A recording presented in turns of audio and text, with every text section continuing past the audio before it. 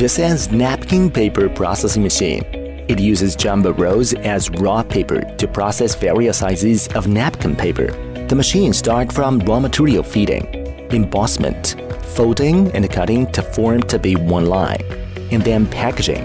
The product is of sanitation and cleanliness. The machine counts automatically and orderly placed, convenient to pack, adopt steel against wool embossing, roller to have clear embossment. The speed of this machine is 500 to 900 pieces per minute, 1 to 4 colors printing. We can manufacture different specifications of machine according to customers' requirements.